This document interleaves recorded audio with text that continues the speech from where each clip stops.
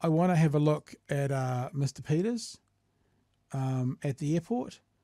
Uh, the, uh, the media comes across as desperate, and he comes across as an old curmudgeon. You know, but this is only ninety seconds. Let's have a look at the walk. Both, both The things walk. are true. from uh, Mr. Peters. Somewhat neutering the media again. How are you feeling? How are you today? Are you playing games with David Seymour? Are you playing games with David Seymour? Was that question? Would you rather be okay? Have you spoken to David Seymour? Have you spoken to Mr. Seymour? This is cringe. It's like fucking Beyonce's in town. How are you feeling, Mr. Party. Are you worried that the ACT Party is going to hold up negotiations and you aren't going to be able to get In terms of negotiations, Mr. Peters, the pension age. Is that a bottom line for you, the pension age? How long will negotiations take? How soaked up is the negotiation power at the moment? Would you like me to carry a suitcase? Would you like me to carry your Nice suitcase? I David think I'm just being Oh nice, genuinely. Anything nice to say about David Seymour? That was a question. David Seymour said there's still a bit of bad blood between you. Is, is, that, is that how you feel as well? Have you spoken to David Seymour yet? There's been reports of the ACT Party putting together a draft annou- uh, agreement already. Is that premature? Hi guys.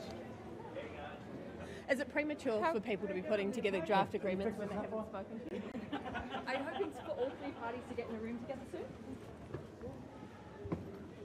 soon? Wow.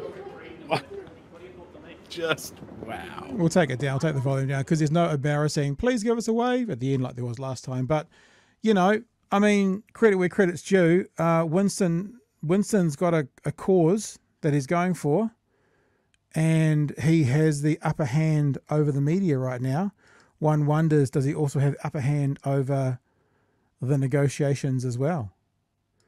So Winston's been doing this for a long time, and the media love talking to him because when he does want to talk, he's going to give them a soundbite. And he's he's, going to give them something salacious that'll that'll that'll get clicks. It'll it'll go on the news. Awesome, but he knows he knows what he's doing in this case.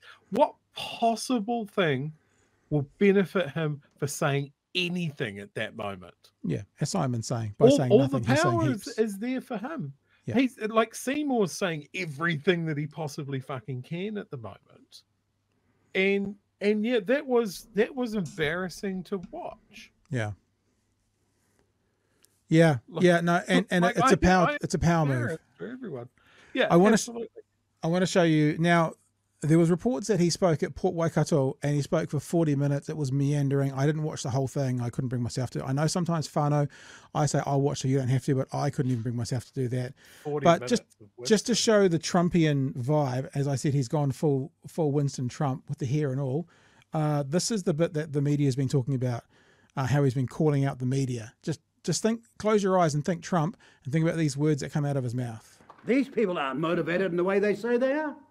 Because if you saw that night, and I was sitting there thinking, God, I'm sitting around with a whole lot of glum people, and we've just. These people are the media, by the way, just so you're clear. just won. it's true. We're all sitting there analysing and thinking, gee, this is not good. And we've just won. We knew on election night that we held all the cards, but we had to stand around and listen to all these political experts like Jack Tame and every other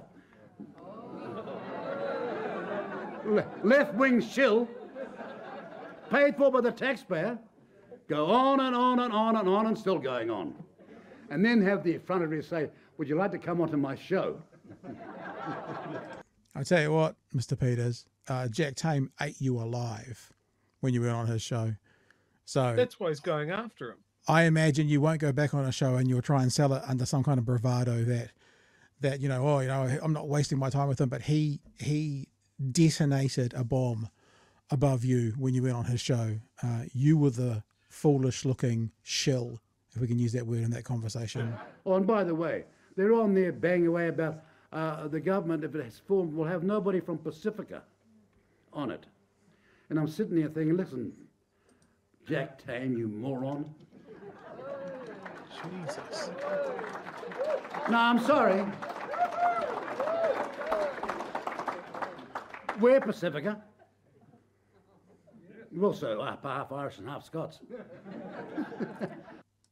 You know, I mean, what what part of that doesn't sound like doesn't sound like uh, you know the the lamestream media, the they're against me, the it's it's it's from the song play, and I'll say it again: Jack Tame cut your lunch and ate it in front of you, Mr. Peters, when you were last on his show. One Yeah, hundred I- we, we saw all of those Jack Tame interviews in the run up to the election, and I have to say he lashed everyone to the bone. Yeah. Like to, to say that he was left wing, I, I watched it the the interview with um with Hipkins.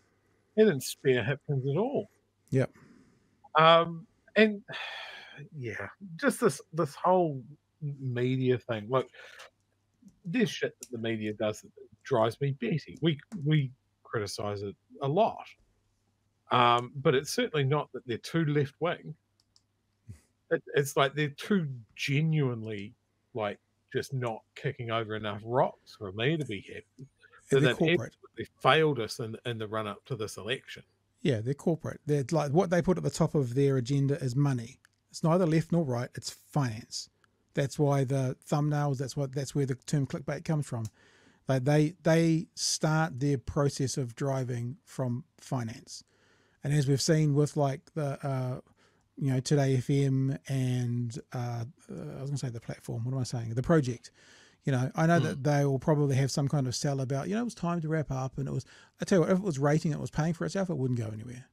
So Yeah. that's why places like RNZ are so important because they don't have that at the top of their agenda. Uh, TVNZ is halfway there. Um, I know that you may people may not be aware of this, but there's no New Zealand Air funding for news and TVNZ other than a couple of shows. So those debates that we watch, and I know this because obviously I was talking to TVNZ when they once they got us kicked off YouTube, they don't get funding for those debates and stuff. So when we all say, um, you know, we, we're paying for TVNZ, some parts, other parts no, and news is not a NZ on air funded uh, conversation because NZ on air doesn't fund carte blanche; they fund projects. So therefore, hmm. they fund Q and A because that's a specified project. They won't fund One News because that's not. So that still has to pay for itself. RNZ very different. RNZ all government money. You know they don't have to worry about the money being at the top of the list, which is why they're so important. So very important. Yeah, maybe Winston still thinks we're under the old BBC model, and he's just angry about people paying licensing fees. I actually would.